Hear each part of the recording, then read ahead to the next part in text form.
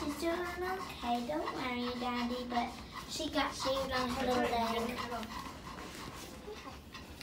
She's not very happy, um, but she showed up with the vets all day. She got a little shavy on her leg, so there's a band-aid. She's going to be very sleepy. Just don't touch her past. though. Go pet her here. Say bye-bye, Izzy.